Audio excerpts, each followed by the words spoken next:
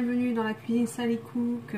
Alors aujourd'hui nous allons préparer un cake à la banane ou des muffins à la banane. Alors moi je vais les préparer sous forme de, de muffins parce que mes filles, euh, mes enfants aiment bien le, les muffins.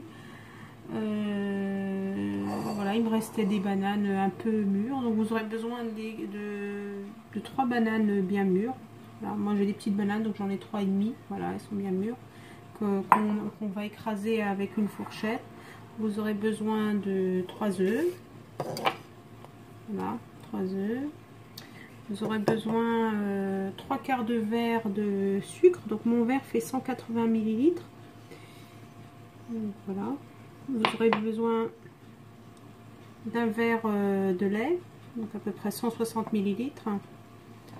Euh, un peu plus d'un demi-verre d'huile, donc 100 euh, ml d'huile. Voilà, une pincée de sel et euh, la farine. Alors, euh, la farine, ça dépend de la grosseur des bananes et de la grosseur des œufs, mais c'est entre 300 et 400 400 g de farine et on va mesurer avec notre verre de 180 ml qui, qui contient 100 g de farine. Donc on passe à la recette. Donc je vais commencer par écraser mes bananes.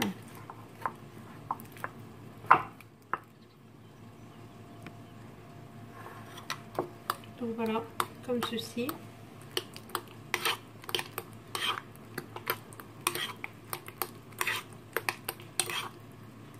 Vous pouvez commencer à mettre euh, à préchauffer votre four à 180 degrés, soit thermostat 6 casser mes œufs. Donc j'ai trois œufs.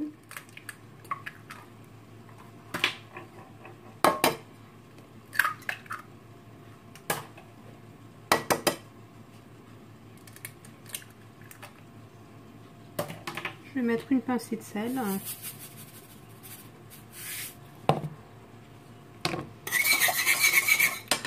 Je vais ajouter mon sucre un sachet de sucre vanillé, donc euh, l'équivalent pour moi de 7 grammes et demi de sucre vanillé.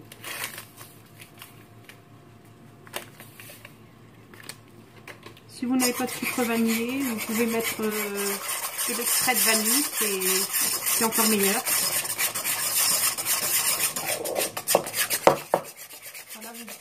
Vous, mélangez bien votre sucre.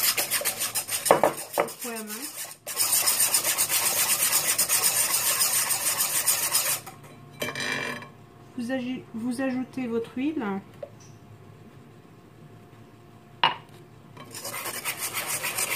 équivalent 100 ml, un peu plus d'un demi-verre euh,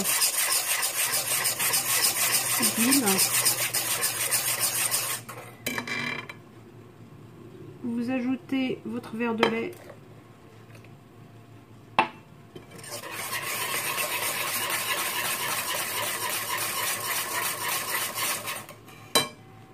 enfin, vous ajoutez les bananes écrasées. Alors, vous inquiétez pas, le mélange est très liquide, c'est normal.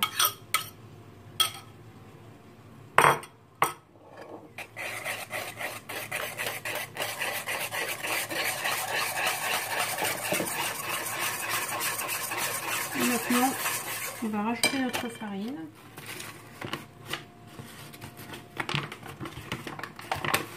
Alors moi la farine j'aime bien la tamiser ainsi que la levure comme ça ça donc j'ai une passoire comme ça. J'aime bien, bien, tamiser la farine parce que ça évite d'avoir des, des, morceaux de farine dans la pâte. On rajoute le premier verre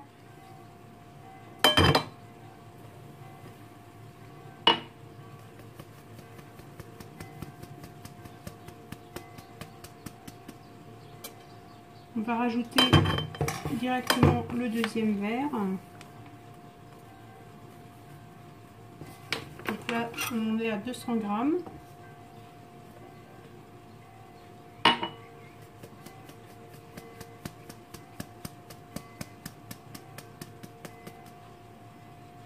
Je vais mettre ma levure chimique. Donc euh, c'est l'équivalent de 15 grammes. 15 grammes de levure chimique.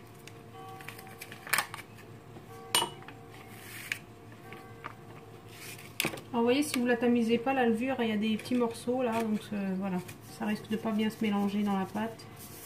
C'est désagréable quand on mange. Euh,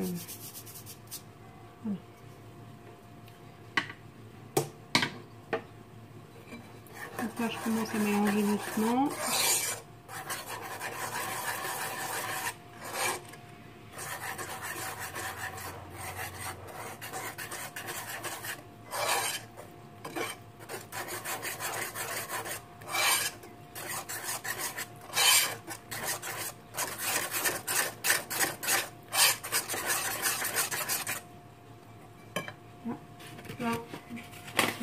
Donc je rajoute mon troisième verre.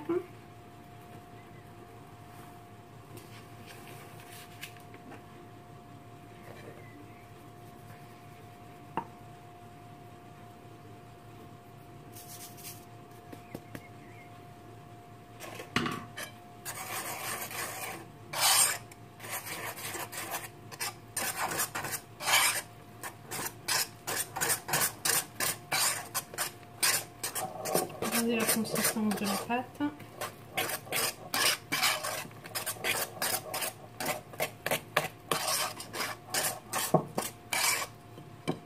Là, je vais rajouter la moitié d'un verre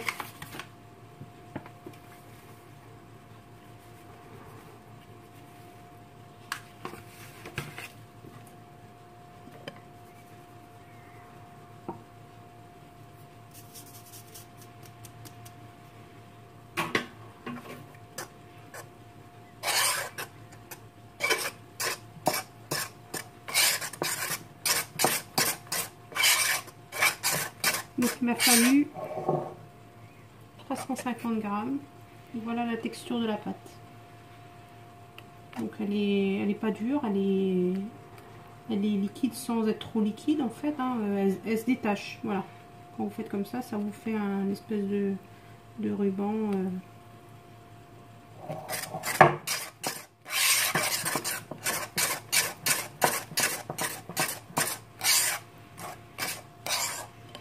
Vous avez soit préparé euh, un grand moule à cake, soit, euh, soit euh, une plaque pour faire les muffins. Donc moi, je vais mettre tout dans les muffins. Donc voilà ma plaque à muffins que j'ai préparée. Donc tout simplement, je vais mettre une cuillère à soupe comme ça. Et je remplis mes muffins par à bord, mais presque, voilà. je vais continuer, je vais remplir. Euh, ensuite, je vais mettre ma plaque euh, à cuire. Donc, mon four est en train de chauffer, donc à 180 degrés. Euh, environ 20-25 minutes. Je vous dirai après combien de temps ça m'a pris. Voilà le résultat. après donc 25 minutes de cuisson. donc, j'ai cuit pendant 20 minutes euh, le four allumé en bas. Et euh, au bout de 20 minutes, j'ai testé avec un couteau. La pointe était bien sèche et j'ai allumé le, la fonction euh, grill au-dessus pendant 15 minutes. Donc en tout, ça m'a pris 25 minutes. si vous faites ça dans un moule à cake, la cuisson va durer plus longtemps. Donc euh, il faut compter, euh, je pense, 35 minutes. Euh, voilà, donc comme je vous ai dit, vous faites cuire d'abord en bas. Et puis ensuite, une fois que vous voyez que, voilà, que c'est doré autour, pour que ça ne brûle pas en dessous, vous allumez le four en haut et vous attendez que, que ça soit bien doré comme ceci. Donc voilà, donc là les muffins sont bien chauds, on attend qu'ils refroidissent avant de les démouler. Ensuite, vous pouvez les conserver dans une boîte hermétique et bien sûr au frigo parce qu'il y a de la banane dedans. J'espère que ma recette vous a plu. Euh, n'hésitez pas à liker, à partager avec vos amis. Euh, à bientôt pour une nouvelle recette.